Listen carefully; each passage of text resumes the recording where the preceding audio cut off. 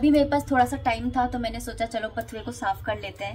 पथुआ साफ़ रहेगा रहेगा तो फिर ना कुछ ना कुछ बन ही जाएगा। पराठे बन गए या फिर है ना अगर बॉईल कर लूँगी या फिर रायती वायती के लिए तो पता नहीं जो भी मैं बनाऊँगी, लेकिन साफ़ रहेगा तो यह है कि काम में आ जाएगा।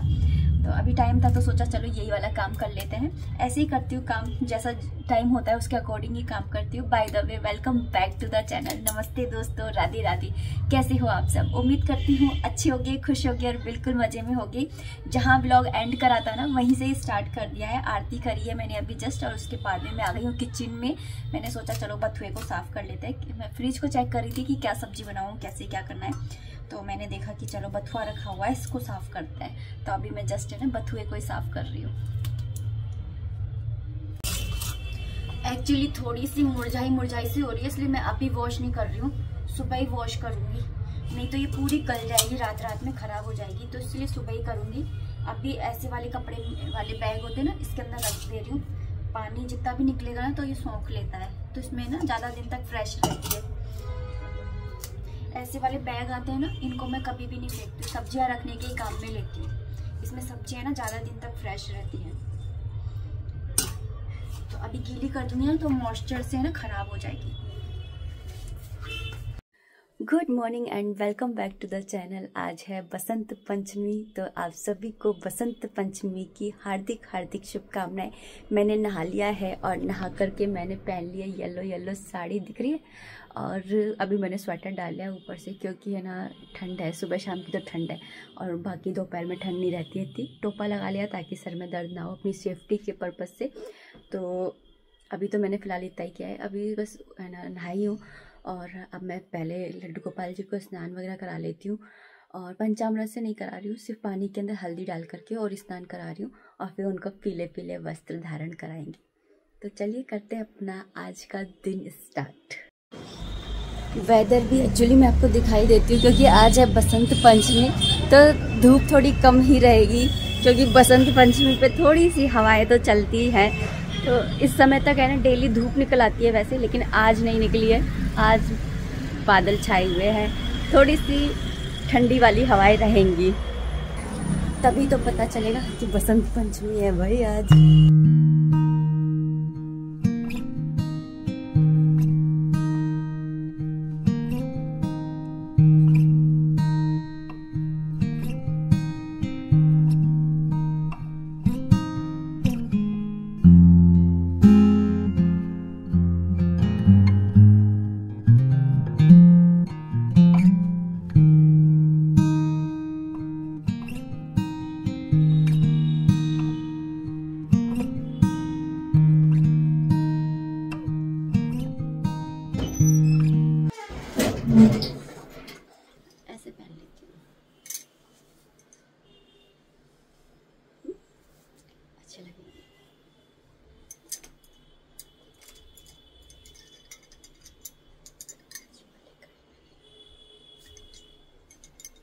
ये वाला हाथ है ना थोड़ा सा टाइट होता है, ये थोड़ा सा ढीला होता है हाथ।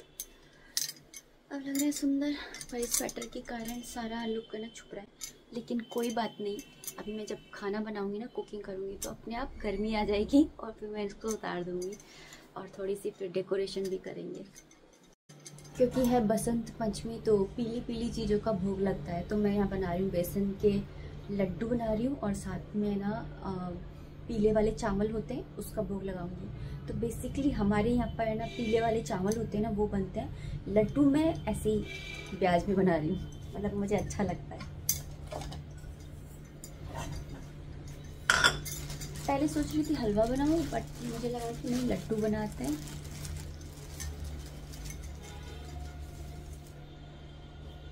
क्योंकि ज़्यादा मीठा मीठा है ना, खाया नहीं जाता है। चावल भी, जो पीले चावल बनते हैं ना, वो मीठे बनते हैं। तो वो खाएँगे, प्लस है ना, हलवा खाएँगे तो इतना खाया नहीं जाएगा और फिर बचेगा और फिर वो ठंडा है ना अच्छा भी नहीं लगेगा। तो मैंने सोचा है कि लड्डू बना लेती हूँ। लड्डू ये है कि रखे हुए रह जाएँगे तो वो महीने भर भी है ना, ख़राब नहीं होता है। और आज हल्दी का डब्बा सुबह से नीचे ही रखा हुआ है। ड्रॉर में जा ही नहीं पाया क्योंकि बार बार में काम पड़ा कभी घी के अंदर डालना है, कभी श्री नारायण भगवान जी को जल दे के आई तो उसमें डालना है, फिर लड्डू गोपाल जी के पानी में डालना है। तो बारह में यही हल्दी काम आ रही थी।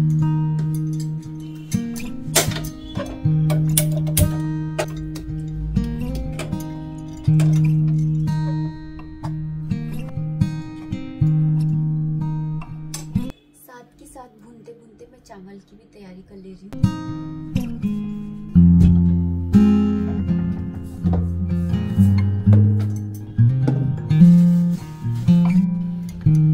भून गया है अच्छे से। अब ये थोड़ा ठंडा हो जाएगा ना तो इसके अंदर मैं डालूँगी बूरा। तो इसको ठंडा होने देते हैं। और चावल भी मैं थोड़ा लास्ट में बनाऊँगी ताकि ये ना थोड़े से ना गरम से ही रहें। तो तब तक मैं पहले है ना डेकोरेशन कर लेती हूँ वहाँ पर, थोड़ा सा है ना यहाँ पर। सोच रही हूँ यहाँ पर ना इधर से सफ़ाई वफाई करके और इसको खाली करके और यहाँ पर अच्छे से अरेंजमेंट करते हैं। अच्छा लगेगा ना? चलो करते हैं।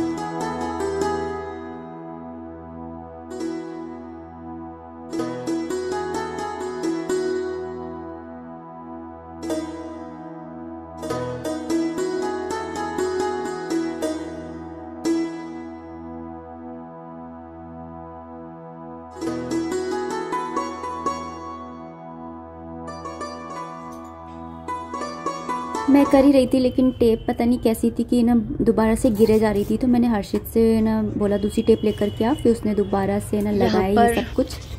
यहाँ पर हर्षित लगा कर रहा है डेकोरेशन में मेरी मदद। तो मैं सोच रही थी तब तक मैं लड्डुओं को ठंडे हो गए मेरे तो उनको मैं बना लेती हूँ।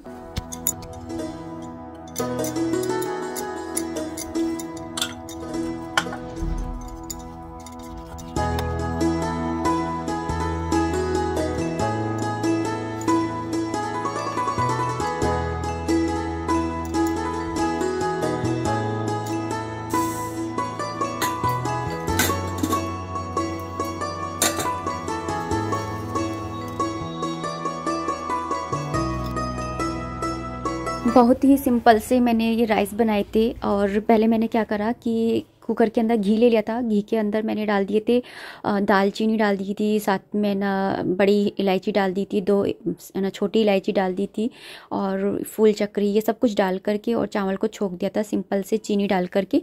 और उसके बाद में ऊपर से मैं ये एक तड़का और लगा रही हूँ जिसके अंदर मैं ये जो आ, मेवे हैं जिसके अंदर मैंने काजू लिया है और साथ में मैंने लिया है नारियल।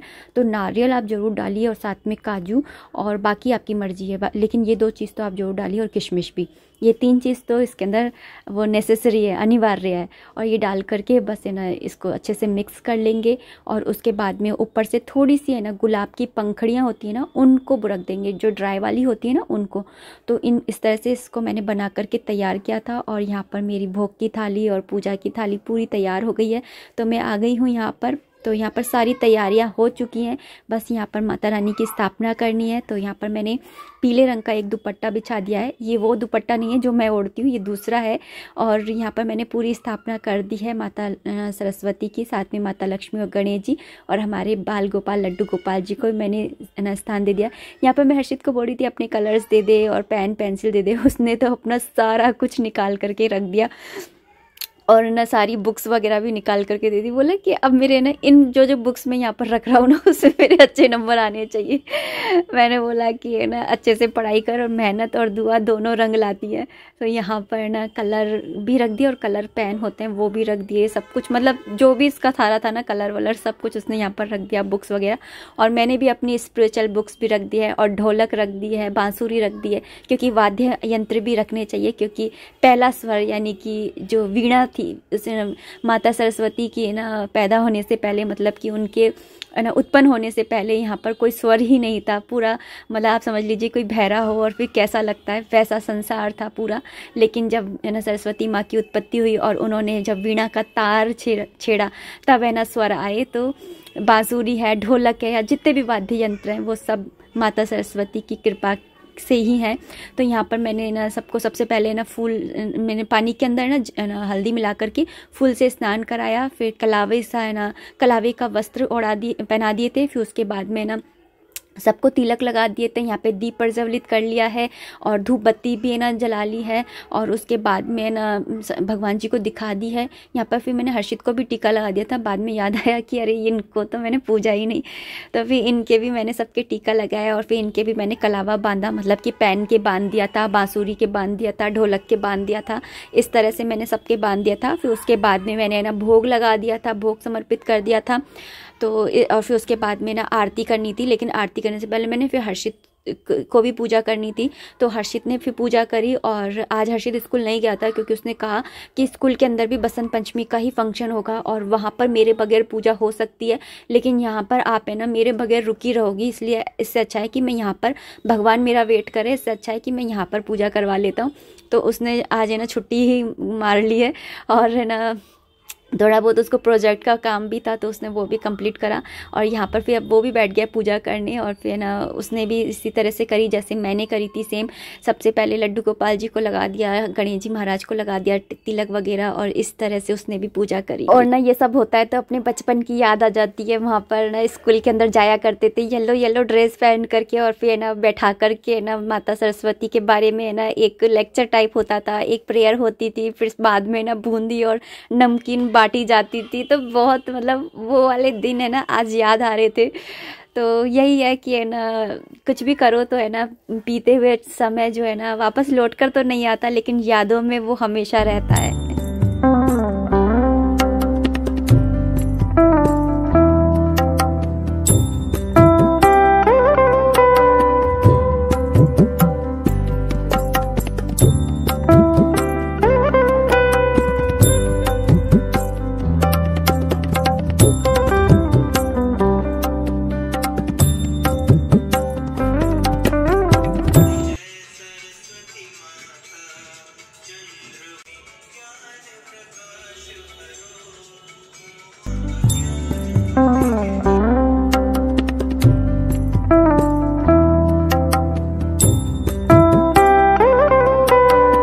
एक्चुअली है ना, वंशु आ गया था प्याज वगैरह लेने के लिए तो मैं उसको बोल रही थी, आजा ना, मैं पूजा कर रही हूँ तो तू भी, है ना, ढोक लगा जा, पूजा कर जा।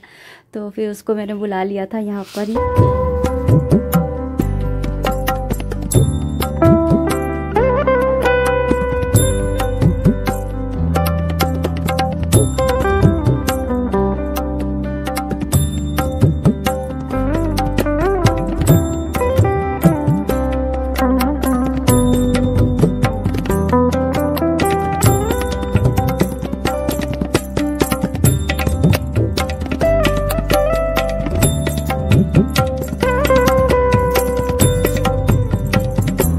आप सब भी ले लीजिए आरती माता माता सरस्वती की कृपा आप लोगों पर भी बनी रहे हमेशा। और लीजिए प्रसाद लड्डू। तो बहुत अच्छे से हो गई है पूजा। अर्षित आनंद आ गया? वो प्रसाद खाने में लगा हुआ है।